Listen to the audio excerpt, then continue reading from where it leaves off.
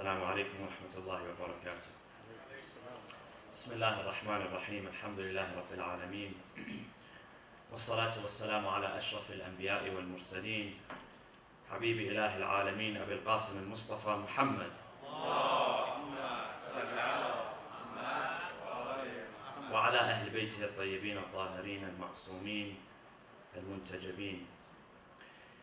The 10th of Rajab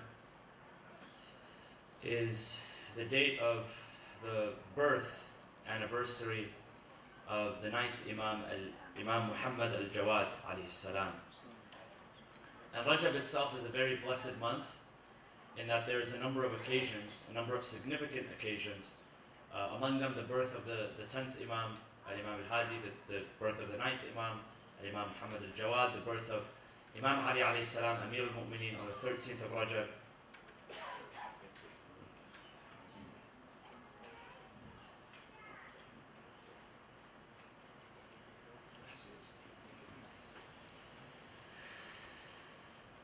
as well as other occasions. And it's a blessed month. It's a, it's a month of supplication. It's a month which begins to pave the way for the months of Sha'ban and Ramadan. And Al-Imam Muhammad al-Jawad alayhi salam, he was, as historians say, um, the only son of the eighth Imam, Imam Ali ibn Musa alayhi salam. And this was significant because uh, the eighth Imam if you study the history, you'd see that the eighth Imam was in a position not only of religious leadership and spiritual leadership, as we believe all of the Imams were, but there was also a time when uh, he had political leadership and influence. And that is when uh, Al-Ma'mun al-Abbasi, the Khalifa at the time, appointed him for a, a short period, appointed the eighth Imam as his heir, the next in line to succeed. And of course, that was retracted and, and uh, that position was taken away. But that was unique to the eighth Imam. And the ninth Imam was born a few years into uh, the Imama of the eighth Imam. And this was not normal. Um, because whenever somebody was put in the spotlight, I mean, the, and the case was similar to the Prophet Muhammad. There was always an expectation that that person would have a son, an heir apparent, right away. And so the enemies of the eighth Imam, they would tease him that you are one of no lineage.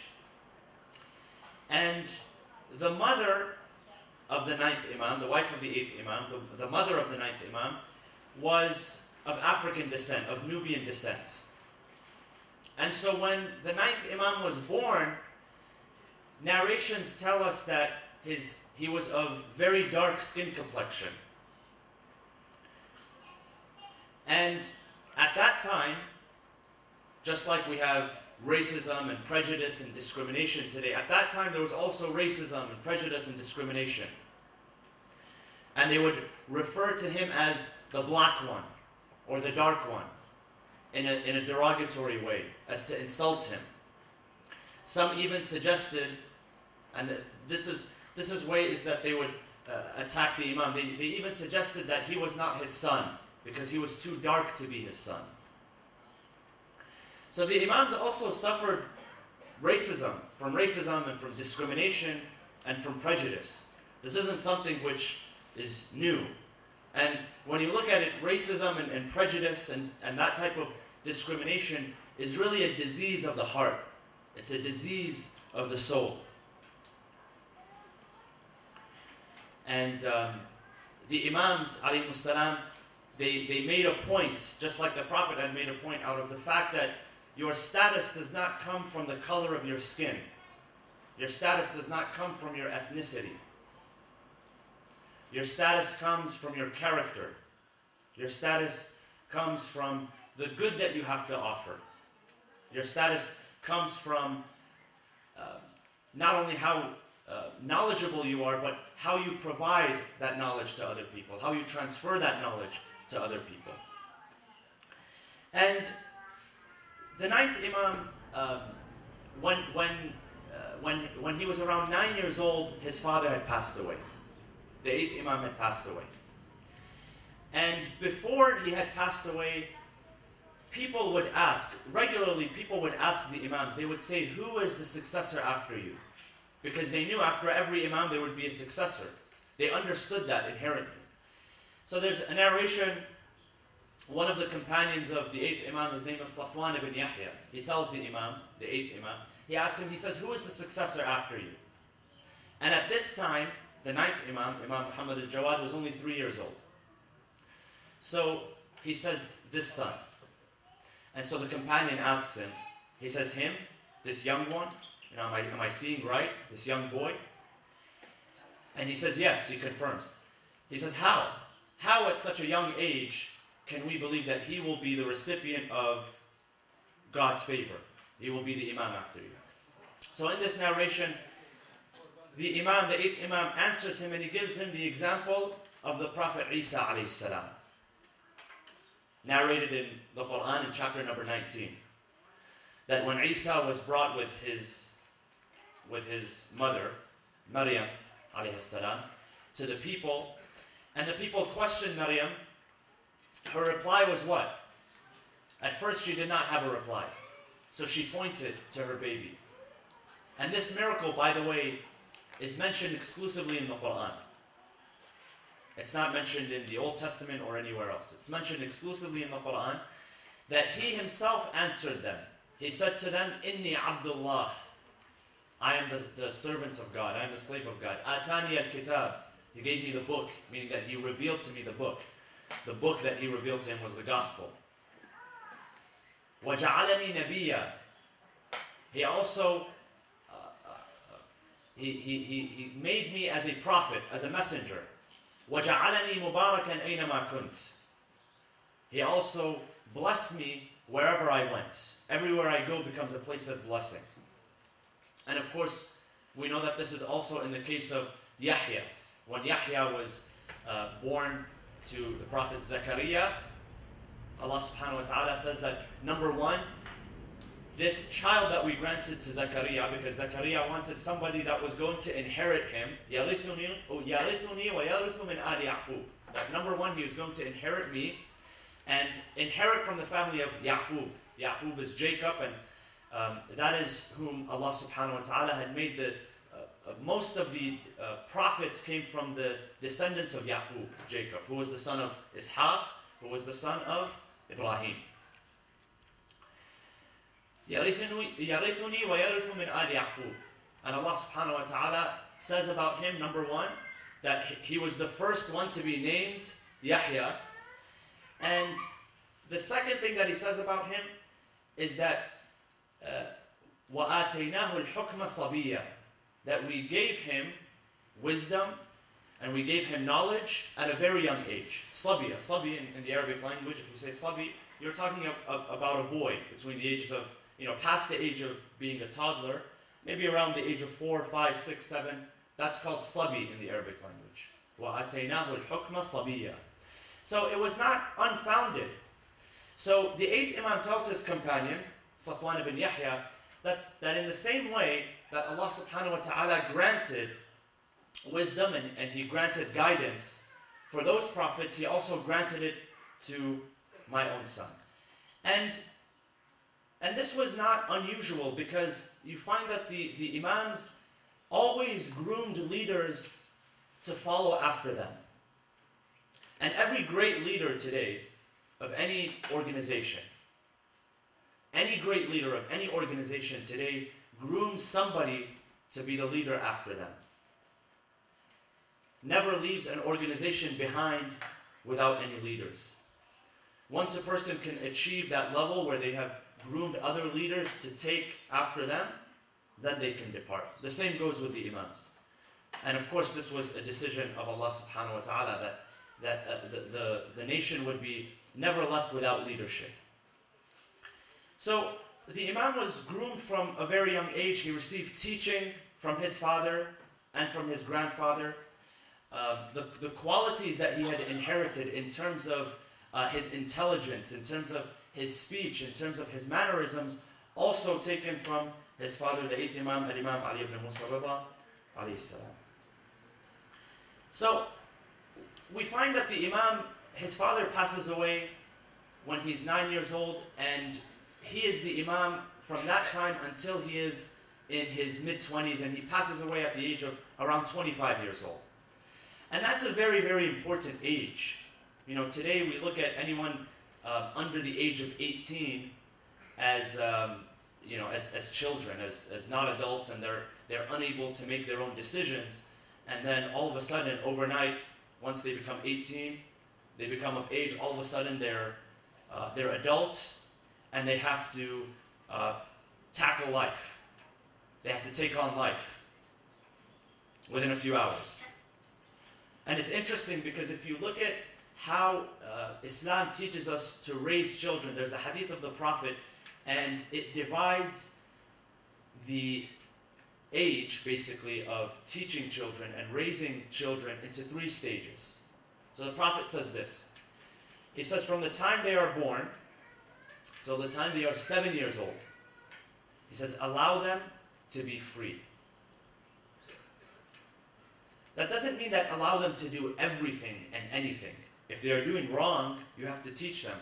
Meaning that the religious obligations, such as prayer and fasting, it's, it's not obligatory upon them at that age. But teaching does begin at that age. So from, from the time they're born till the time they're, they're seven years old, that's stage one. Stage two is from, the, from, from seven years old to 14 years old. Here the Prophet says, teach them their obligations. Before they reach that official age where they have to pray and fast and observe the hijab and so on and so forth, teach them once they get to the age of seven. And um, from the age of 14 to the age of 21, he says, be strict with them. Be, uh, uh, be, be a little bit more stringent with them. So, so dividing it into different areas rather than just having them, you know, overnight, all of a sudden they become responsible and they have to take on all of these responsibilities. That's a very, very important age, that age right there. And if we can teach children to build a proper foundation from that age, you see them turn into effective adults. But the, the problem is today, you know, with the educational system and, and whatnot, it's not uh, uh, created to uh, create responsibility. All of a sudden, children are 18 and, and they're legal uh, guardians of themselves, and um, you know that's when the problems happen. Um, but you find that the imam at this age, even though he was very young, you know, you, you, you read the ahadith and you find the, the impact that the imam had on his society. So age was not, didn't make any difference how old he was. The imam, because he was groomed properly by his father, because he was raised properly by his father and mother, uh, he did, he was able to uh, create an impact. And one of the areas of impact uh, that the imam exerted himself was when it came to teaching uh, jurisprudence, fiqh. And there's a number of stories. You know, if, if you study our fiqh, our jurisprudence, uh, our basically what our halal and haram comes from, many of the narrations come from that period, from the time of the sixth imam onwards.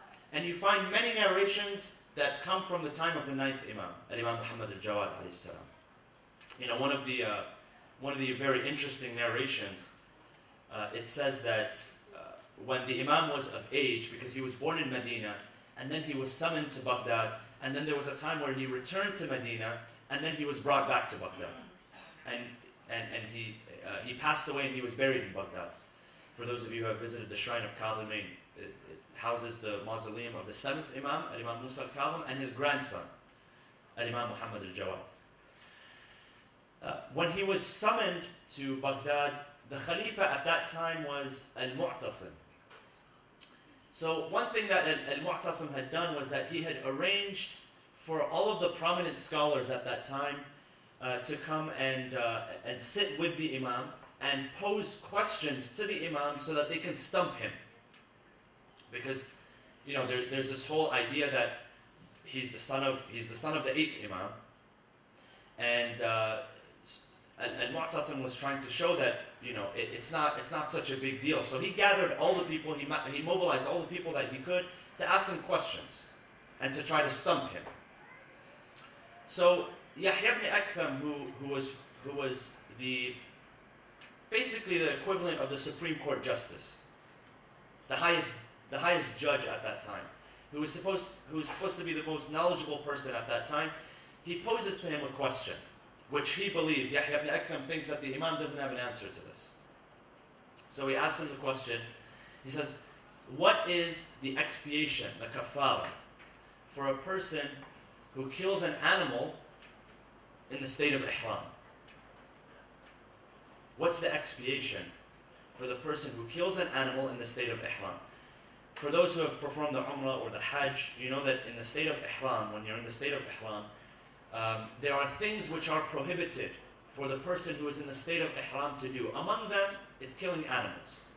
But there are certain conditions, it's not a general rule. So if a person, for instance, is being attacked by an animal, then the person can defend himself without penalty, without expiation.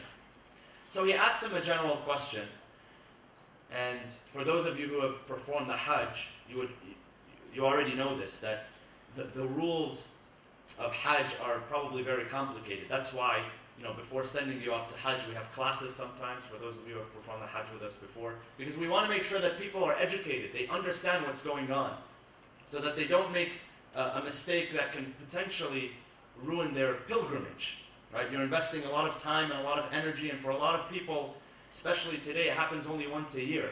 So it's good to be informed and educated on what you're going to do. And the rules are a bit complicated. Nothing that goes over the head, but they're a bit complicated. Some of them have uh, conditions and, and, uh, and whatnot. So he asks him the question. He says, What's the penalty? What's the expiation for a person who kills an animal during the state of Ihram? So what does the Imam do? Instead of answering the question, he, he asks, he begins to ask the questions to him. He poses about almost 10 questions back to him to show him that it's, it's more complicated than just one answer. So he asks him, he says, Well, it depends. Did it happen during the night or the day? And was it for the Umrah or was it for the Hajj? Was the person within the vicinity of Al Masjid al Haram or was he in the hill area, which is outside Masjid al Haram? Um, was this person, did he do it from on, on purpose or by accident or through forgetfulness? Those are three things. He says, um, was this person a free man or a slave? Was he young or old? Was that animal, was it a mammal or was it a bird or was it an insect? He asks him those questions and, and, and he shows him through asking that question that, that, that the, the answer depends upon what specific question you're asking. And then he provides the answer to every single case that he presented. So Yahya ibn Aktham thought that he was, you know, he was going to be able to stump him. And, you know, by the way that the Imam provided the answer, it was obvious that Yahya ibn Aktham did not have the answers to these questions. And the Imam wasn't trying to make a point. He wasn't trying to prove that he was the most knowledgeable.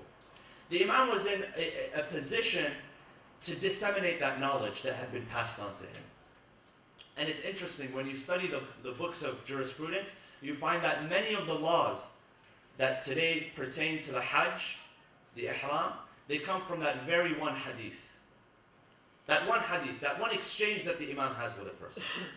So, you know, his, ability to, uh, to explain and to disseminate and to provide answers in a way that was understandable to everybody at that time.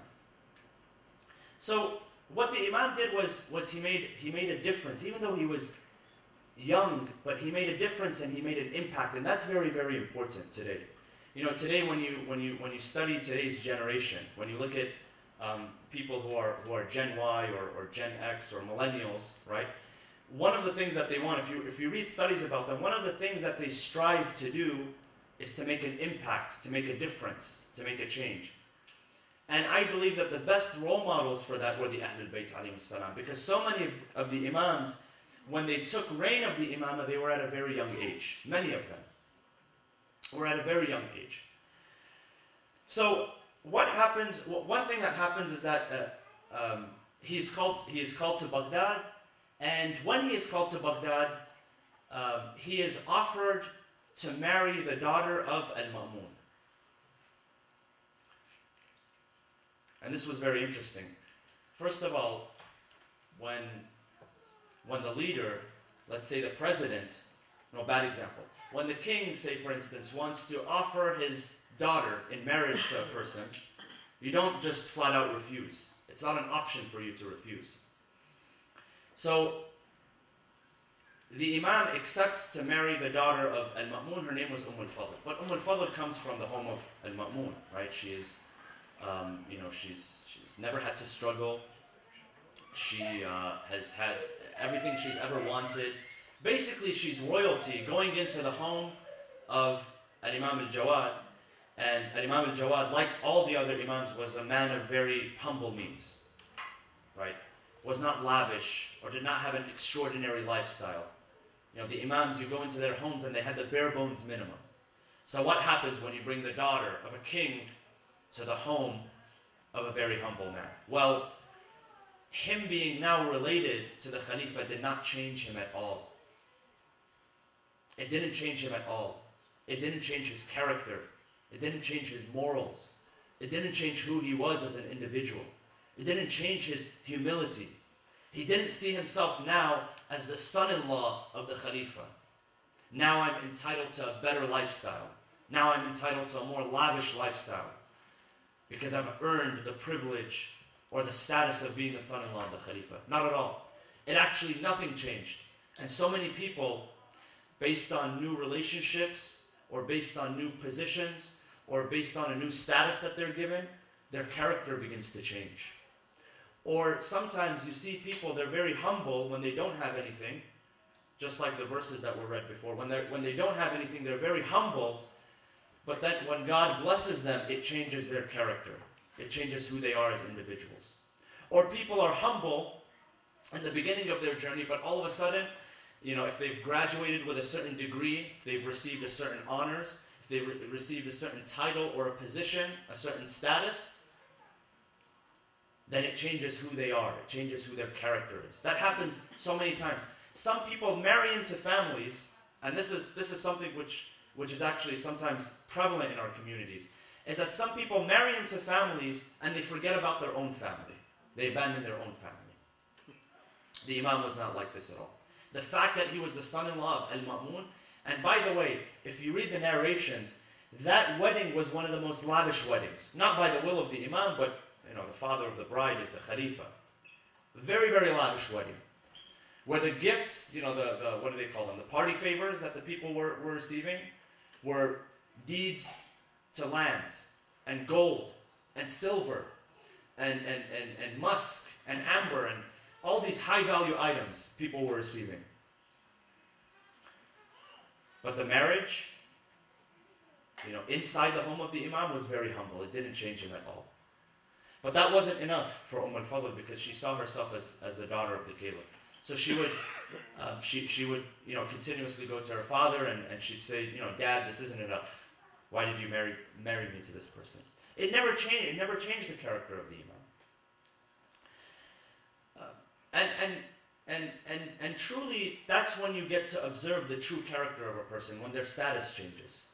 That's how you get to observe, you know, they, they, they talk about how, um, you know, sometimes money corrupts people or status corrupts people. Well, that was never the case for the imams. Whether they were married into the, the, the family of royalty or they weren't, it didn't change anything about them. Their attitude was always consistent, right? Why was that? Because they lived on principles. And when you live on principles, no matter what your external factors are, nothing changes. Because you're, you're rooted, you're solidly rooted in principles. So, about his character, the Imam was a man, number one, of great intelligence. Um, he was able to uh, think fast and give immediate answers. And he had, he had excellent speaking manners as well. And I won't go into detail about all of you know, his interactions, but if you study his interactions with the people around him, with his companions, with the Khalifa, with this person, with that person, you'd find that he had excellent manners in speaking. He had excellent manners in presentation. Whether he was talking to a poor man, or whether he was talking to the judge, or whether he was talking to Khalifa, he was excellent in his mannerisms. And that's something which is characteristic of the Ahlul Bayt. And so I'd like to narrate and just end with a couple of ahadith from the, the ahadith of the ninth Imam, alayhi salam. One hadith says the following. He says, Do not act like the friend of Allah in public and his enemy in private. Some people tend to act like they are the friends of God in public, but in their private life, they are the enemies of God. So show what your true face is in public that you have in private. Meaning be consistent with your character. Be consistent with what you present to the public. That's number one.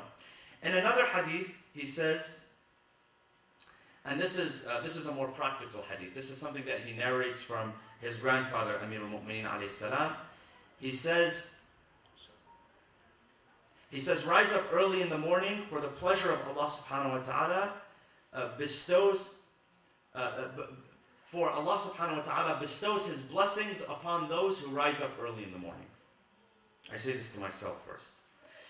And finally, he says the following. This is a very important hadith. Another hadith that he narrates from his grandfather, Amir al-Mu'mineen.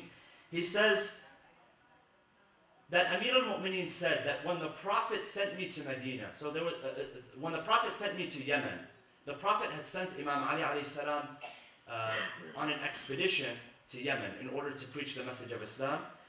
The Prophet said to Imam Ali salam the following. He said, O Ali, anyone who expects goodness from Allah is never disappointed. When you expect goodness from Allah, not only that you ask it, but you expect it. Expectation is different than just requesting something. When you request something without expectation, you don't really know whether it's going to come or not. It could be a 50-50 thing. But when you expect it, that increases your chance of receiving that thing. He says nobody, nobody is lost whenever they, whenever they expect goodness from Allah subhanahu wa ta'ala. So, and it's, it's a very simple statement, but it's very profound because what, sometimes when we ask God for something, we're doing it half-heartedly. We don't know if God is going to grant us that thing or not. But ask those who have actually received what they have asked from God, and they will tell you that they have expected to receive that good from God. You know, a beautiful example of this if you read the narrations of the Imams of Ahlul Bayt, if you read their supplications. In their supplications, essentially they ask God for something, but from the language that they use, you know that not only are they asking God, they're expecting, it's as if they know they are going to receive that thing. Because if they don't receive that thing in their philosophy, uh, um, you know, when, when Imam Ali alayhi salam, for instance, when he says, Ma my Lord, if you punish me, ma meaning that it's, it's not something that I ever expected from you to punish me. It's not something that I ever expected a person who has hope and faith in God that you punish him. It's not, that's not what is expected from you.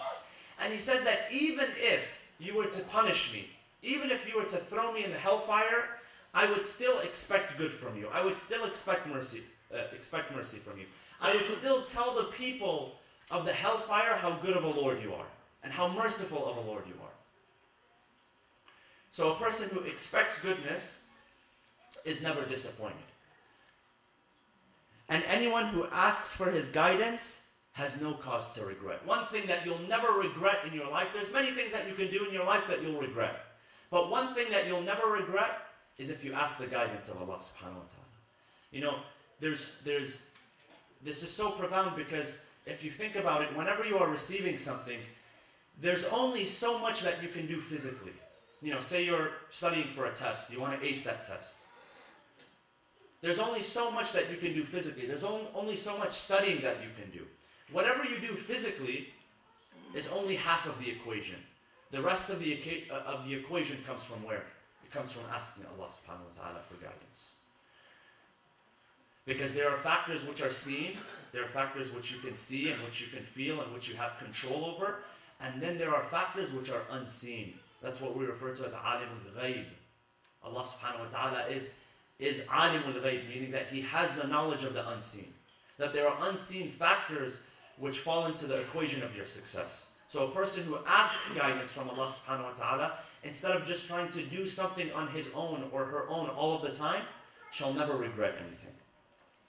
So we ask Allah subhanahu wa ta'ala to bless us with the ability to ask Him for guidance.